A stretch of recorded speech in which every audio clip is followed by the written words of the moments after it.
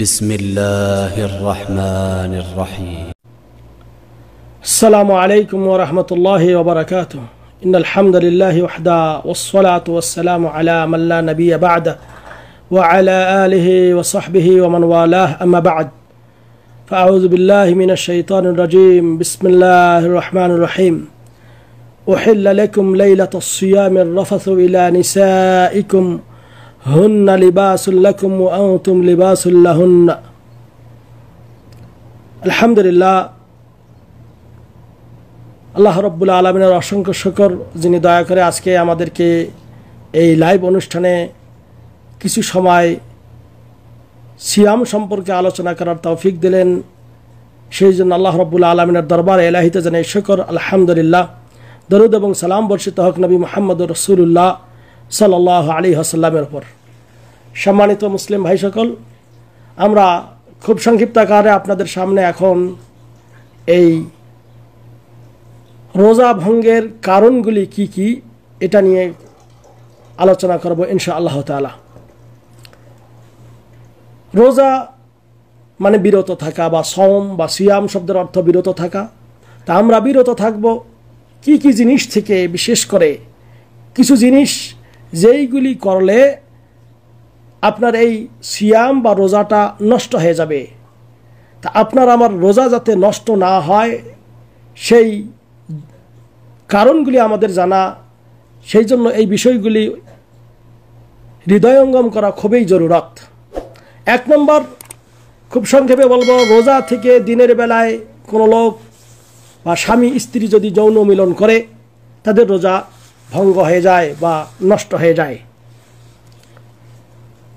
এখানে একটি সংক্ষেপ জিনিস, সেটি হলো, যদি স্বামী স্ত্রী উভয়ের সম্মতিতে কেউ মেলামেশা করে থাকেন দিনের বেলায় রোজা থেকে, তাহলে উভয়ের জন্য এই রোজাটা কাজা আদায় করতে হবে এবং কাফারা দিতে হবে। আর এর কাফারা হলো, একজন কৃত দাসকে মুক্ত করা এটা যদি না পড়েন, তাহলে লাগাতার টানা দুই মাস রোজা রাখতে হবে।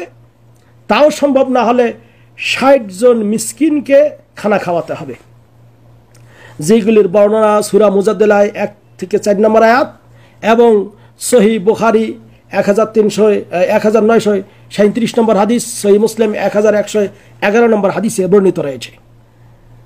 তবে যদি স্বামী জোরপূর্বক স্ত্রীর সঙ্গে এই যৌন সম্ভব করে রোজা থেকে, তাহলে স্বামীর ওপর কাজা এবং কাফারা দুইটাই, স্ত্রীকে এই দিনের রোজা কাজা দিতে হবে কাফারা দিতে হবে না। যেহেতু তার সে সম্মতি ছিল না। তাহলে এক নম্বর যেটি, সেটি হলো যে স্বামী স্ত্রী যৌন মিলন যদি করে, দিনের বেলায় রোজা থেকে রোজা নষ্ট হয়। দুই, রোজা থেকে দিনের বেলায় যৌন স্পৃহার জাগ্রত করে এমন কিছু কাজ করা। যেমন হস্তমৌথন, স্বামী, স্ত্রী, কোলাকুলি বা ইত্যাদি কাজের মাধ্যমে যদি অথবা বিভিন্ন ধরনের মানুষ অনেকে রয়েছেন যারা বিভিন্ন ইউটিউব ইত্যাদিতে বাজে ছবি ইত্যাদি দেখার কারণে তার উত্তেজনা উত্তেজনাবশত যদি দিনের বেলায় রোজা থেকে বীর্যপাত ঘটে, এক কথায় যে কোনোভাবে বীর্যপাত যদি ঘটায়, ইচ্ছা করে, তাহলে তার রোজা নষ্ট হয়ে যাবে। সহি বোখারি এক হাজার আটশো চুরানব্বই নম্বর হাদিসে বর্ণিত রয়েছে।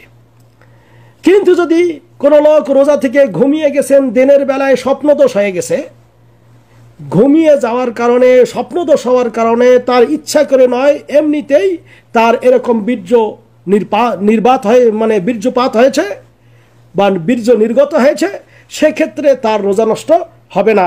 ওই ক্ষেত্রে এই লোকের উচিত হলো তাড়াতাড়ি করে ঘুম থেকে ওঠে, গোসল করে নেবে, ফরজ গোসল করে নেবে এবং ওই অবস্থায় সে রোজা থাকবে, তার রোজা নষ্ট হবে না। যেহেতু সে ইচ্ছা করে এ কাজ করেনি।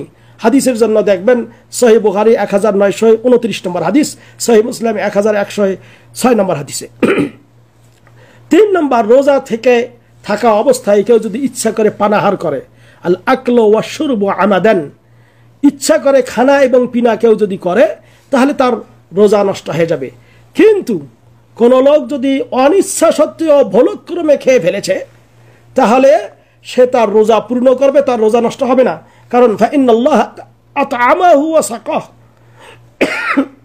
সরি কারণ আল্লাহ রব্বুল আলমিনাই তাকে পান করিয়েছেন এবং খাওয়িয়েছেন। এক কথায়, ভুলক্রমে কেউ যদি পানাহার করে, খায় অথবা পান করে, তার রোজা নষ্ট হবে না। কিন্তু যদি কেউ ইচ্ছা করে খায় এবং পান করে, তাহলে তার রোজা নষ্ট হয়ে যাবে, রোজা থাকা অবস্থায়। চার, যেসব জিনিস খাদ্যের কাজ করে, এইগুলি জিনিস ব্যবহার করলে, গ্রহণ করলে রোজা নষ্ট হয়ে যাবে। যেমন খাবার স্যালাইন, খাবার ইঞ্জেকশন অথবা রক্তের ইঞ্জেকশন এইগুলি যদি শরীরের মধ্যে গ্রহণ করে, তাহলে তার রোজা নষ্ট হয়ে যাবে। কিন্তু একটা জিনিস মনে রাখবেন, জ্বর, মাথা ব্যথা, সর্দি ইত্যাদির কারণে শরীরে যদি কেউ ইঞ্জেকশন গ্রহণ করে, এইগুলির কারণে তার রোজা নষ্ট হবে না। যেমন বর্তমানে করোনা ভাইরাসের কারণে অনেকের নাকের শ্লেষ্মা পরীক্ষা করা প্রয়োজন হয়, অথবা রক্ত পরীক্ষা করা প্রয়োজন হয়, অথবা ডায়াবেটিসের কারণে রক্ত পরীক্ষা করা প্রয়োজন হইতেছে। তাহলে এই ক্ষেত্রে এই সামান্য এই রক্ত বের হইলেও তাহলে তার রোজা নষ্ট হবে না? প্লাস এই জন্য যদি কেউ এই জ্বর, মাথা ব্যথার জন্য সে শরীরের মাংসপেশিতে ইনজেকশন গ্রহণ করে, তাহলে তার রোজা নষ্ট হবে না ইনশা আল্লাহ তালা কিন্তু যদি সে শিরা উপশিরার মধ্যে খাবার ইনজেকশন গ্রহণ করে, রোজা নষ্ট হবে। পাঁচ নাম্বার, ইচ্ছাকৃতভাবে কেউ যদি বমি করে, তার রোজা নষ্ট হয়ে যাবে। হ্যাঁ? যে ব্যক্তি আমাদান আমাদান মানে মানেস্তালকা আমাদান যে ব্যক্তি ইচ্ছাকৃতভাবে বমি করবে তার রোজা নষ্ট হবে। কিন্তু অনিচ্ছা সত্ত্বেও কারও যদি বমি এসে গেছে মনে করেন আগে সিহিরি খাওয়ার অভ্যাস ছিল না হ্যাঁ, হঠাৎ আপনি এই রমজান মাসে রোজা ধরেছেন আপনার এরকম একটা ভাব দেখা দিচ্ছে যে মানে কিছু উপসর্গ দেখা দিচ্ছে যার কারণে আপনার বমি বমি ভাব আসতেছে হঠাৎ করে বমি হয়ে গেল। কিন্তু আঙ্গুল যদি মুখের মধ্যে আঙ্গুল দিয়ে আপনি বমি করেন সেটা হবে না। তাহলে রোজা নষ্ট হবে। আর যদি আপনি অনিচ্ছা সত্ত্বেও আপনার বমি হয়ে যায়, রোজা নষ্ট হবে না। কিন্তু ইচ্ছা করলে বমি কর- বমি করলে রোজা নষ্ট হবে। হাদিসের জন্য দেখবেন আবু দাউদে দুই হাজার তিনশো আশি নম্বর হাদিস এবং তিরমিজিতে সাতশো উনিশ নম্বর হাদিসে বর্ণিত রয়েছে। সাত মানে পাঁচ নম্বর গেল। ছয় নম্বর সিঙ্গা যদি কেউ শরীরে লাগায় রোজা নষ্ট হবে না। এই বিষয়ে মতভেদ রয়েছে, কারণ রসুল্লাহ ইসলাম নিজেই রোজা থেকে সিঙ্গা লাগিয়েছিলেন। এজন্য ওলামা একরামের মন্তব্য হলো যে, একান্ত প্রয়োজন যদি না হয়, দিনের বেলায় রোজা থেকে শরীরে সিঙ্গা লাগাবেন না। তবে আপনি এই সিঙ্গা লাগানোর প্রয়োজন হলে রাতের বেলায় লাগাবেন। কিন্তু যদি আপনি শরীরের মধ্যে সিঙ্গা লাগালে রক্ত ইত্যাদি অনেক কিছু বের হয়ে, বের হতে পারে। এজন্য করে আপনার এই সিঙ্গা লাগালে কেউ কেউ বলেছেন যে রোজা নষ্ট হয়, আবার কেউ বলেছেন রোজা নষ্ট হয় না। তবে উত্তম এবং শ্রেষ্ঠ শেখ বিন বাজ রাহেমাহল্লা যেই কথা বলেছেন এবং শেখ মোহাম্মদ বিন সোয়ালে আলো সাইমিন রাহেমাহল্লা তার একটা ফাজাইল ও শাহরি রমাজান নামক বই রয়েছে। সেখানকার সাতষট্টি পৃষ্ঠায় তিনি এইগুলি বিস্তারিত ব্যাখ্যা করেছেন। তবে আপনার এই শরীর থেকে যদি সামান্য মানে দাঁত থেকে কপ কাশি, রক্ত ইত্যাদি বের হয়, তাহলে এজন্য রোজা নষ্ট হবে না। তবে একটা জিনিস মনে রাখবেন যে, কোনো লোক যদি স্বেচ্ছায় রক্ত দান করে, শরীর থেকে রক্ত অনেকে বের করে ফেলে, তাহলে রোজা নষ্ট হবে।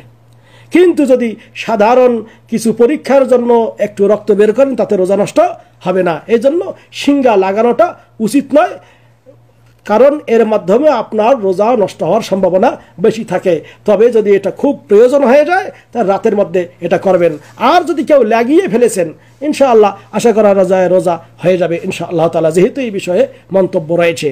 সাত নম্বর যেটা, সেটা হলো মহিলাদের মাসিক ঋতুস্রাব যদি দেখা দেয়, অথবা বাচ্চা প্রসবের পর যেই মিন্স বা যেই ব্লাড আসে যেটাকে নেফাস বলে, এইগুলি হওয়ার কারণেও রোজা নষ্ট হয়ে যাবে। মনে করেন, কোনো মহিলা সারাদিন রোজা রয়েছে।